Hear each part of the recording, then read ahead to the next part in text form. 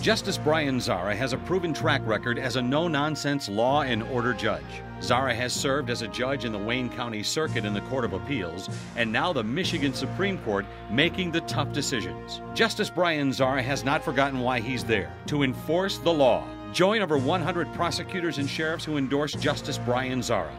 I am Mark Reene, Tuscola County Prosecuting Attorney, and I endorse Justice Brian Zahra for re election to the Michigan Supreme Court.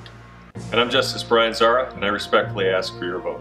Vote November 4th to re-elect Justice Brian Zahra, the right choice for the court, the right choice for Michigan. Paid for by Brian Zahra for Justice.